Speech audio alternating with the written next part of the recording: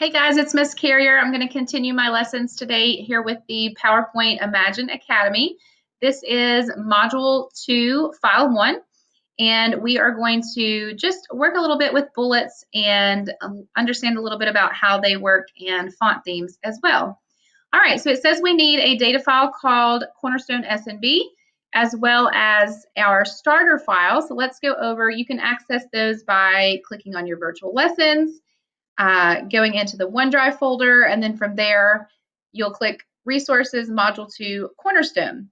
So let's first go ahead and grab this SNB file. We're going to click Download. That's the easiest way to get those files. And then we're going to organize that into the Office PowerPoint Module 2 folder. We did that in video 1. So make sure you have done that. And then we're going to go ahead and download the second one, but this time we're going to change that starter name and we're going to replace it with our name. So we've downloaded that file now and we're going to go ahead and open that file. And so therefore we've got what we need to get started. So we're going to use this really cool feature called reuse slides. This was something that uh, it's actually newer. I did not have this available when I was learning PowerPoint in high school or college. Uh, but you can find the file that you need here by searching, or you can come down and find it in the recommended files. Um, we are going to choose content from this SNB, and we're going to come click on the two uh, slides we need, blackberries and strawberries. And then you can just simply close that pane. And we're going to alphabetize these slides. So the easiest way is just to drag and drop them in place. So we've got apples, blackberries, uh, then we're going to need to have peaches, pears, and plums, and we can pull the strawberries file, the slide down to the bottom. There we go. So we've completed that task. And now it tells us in the instructions that we are going to work with bullets a little bit here. We're going to change the numbered list on apples to filled square bullets.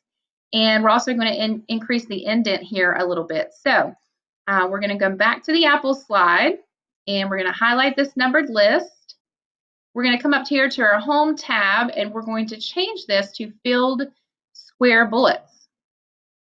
All right, so this one might make you pull your hair out a little bit. Uh, I struggled with it when I did it earlier, but what it wants us to do is highlight these, these text items, and it wants us to pull the indentation over, but sometimes the bullet goes with that. So if you just grab this little marker, the little box marker, and pull back, okay, um, then it should allow you to put some separation in the text. So that's what it's looking for, a little bit of indentation between the wording and bullet. You can't get that to work perfectly, don't stress it. We'll just move on to the next step. It now tells us that we are going to use a dark gray text 2 font, and then we're going to format paint uh, onto the other bullets. So let's go back to our PowerPoint. Uh, this is the selection of items it wants you to use.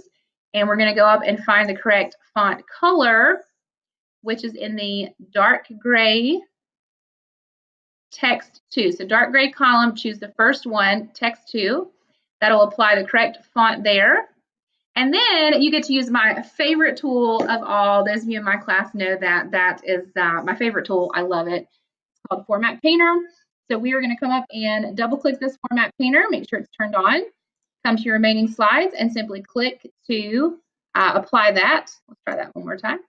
Double click format painter, come down to blackberries, simply drag and drop, and it should um, maybe try highlighting the whole list before you turn format painter on, then come down and it should apply. A little tricky again to grab it double click it, okay, and then you're going to come and select those items. There we go, it's working now.